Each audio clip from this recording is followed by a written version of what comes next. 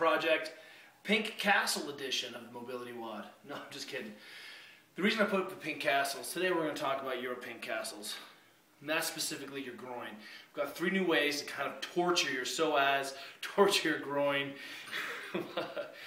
I can't help it. This is the way it goes. So here's what's going to go. Um, many of you guys re responded in the uh, favorite MWODs basically saying that your uh, psoas is tight. And I want to show you another way to get into your psoas. Make it a little bit worse. Here's what going to do. Normally, we go ahead and tack the psoas down. I'm on an antique table here.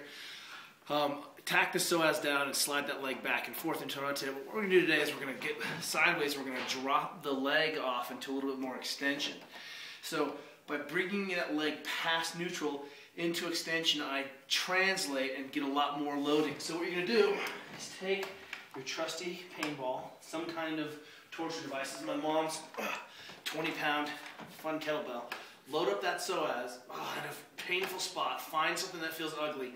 Maybe when you're kind of attaching up the high ribs here, and then I want you to drop that leg off the table, and you're going to find that, oh, it's really bad in a new way. So that's homework number one. I want you to get two or three minutes each side on this thing and just hang out back and forth, trying to change those tissues until everything kind of goes away. And what you'll know is that once the tissue starts to chill, literally it feels like nothing. That's how you know. So we want to treat until we make change, okay? Stay on that thing until you make change. That's how you know it's working. Homework number two.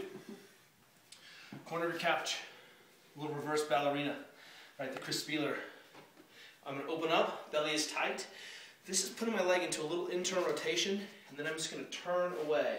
And it's going to capture some of this kind of medial hamstring piece. If you press your hip forward or pull down, it will change the nature and feeling of that. So go ahead and explore that for yourself and find out your tight bits. Squeeze your butt, belly tight, turn away, keep turning away. You'll find those pieces.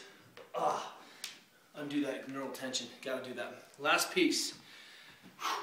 This is gnarly. Got a little piece of wood here. This is where my, my parents' mountain home. What I'm gonna do is sit up, high platform, little gives me a little leverage. Allows me to keep my back straight. You certainly can do this on the ground.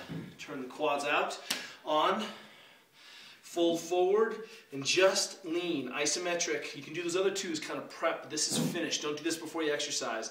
And we're just gonna camp out for three or four minutes until I start making change. You can certainly do it on the ground here if you have enough flexibility, but most of you will find that you're gonna violate that two-hand rule and collapse. That doesn't do me any good. When you use the full leverage, quads on, turn the hips out, and hang out. And right here, I just wanna be light hands, keeping the flex on, isometric shutdown. I'm not gonna contract, relax. I'm gonna stay on the whole time and just keep working forward. Belly's tight, fold, fold, fold, fold. When you feel things tear and let go, you're done. All right? I'll see you guys tomorrow.